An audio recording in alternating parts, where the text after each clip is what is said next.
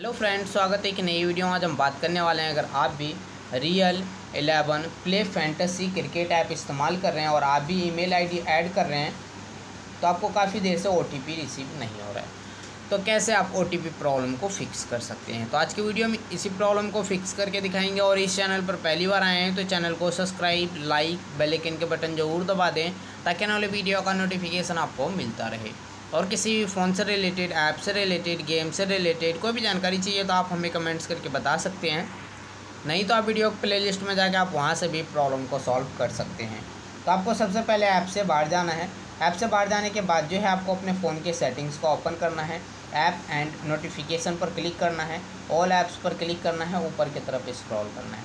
आपको देख लेना ऐप कहाँ पर है।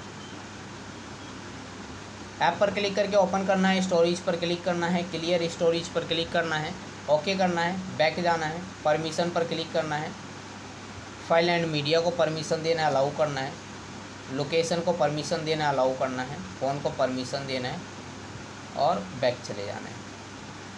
ऐप देख लेना देख लेना है कहाँ पर इंस्टॉल है, ऐप को ओपन करना है, अकाउंट लॉगिन करना है, आपका प्रॉब्लम फिक्स हो जाएगा। अगर आपका प्रॉब्लम फिक्स नहीं होता है तो ऐप को अनइंस्टॉल करके दोबारा से इंस्टॉल करना आपका प्रॉब्लम फिक्स हो जाएगा। अगर फिर भी नहीं होता है तो आप हमें कमेंट्स करके बता सकते हैं, मैं आपको रिप्लाई ज़रूर दूँगा।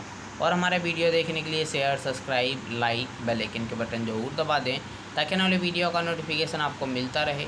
मिलता है नेक्स्ट वीडियो में एक नई टॉपिक के साथ, तब तक के लिए नमस्कार।